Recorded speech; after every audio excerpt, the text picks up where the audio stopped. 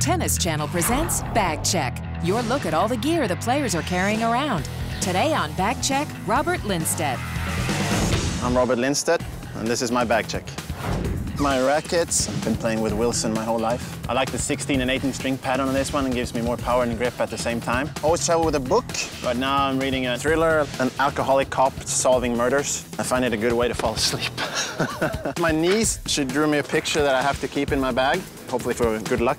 Band for stretching, stretches the backside, you can do different angles. No one should really see this because I don't really look good doing this. This is DVDs. I like all kinds of movies. You got documentaries, you got action, you got romance.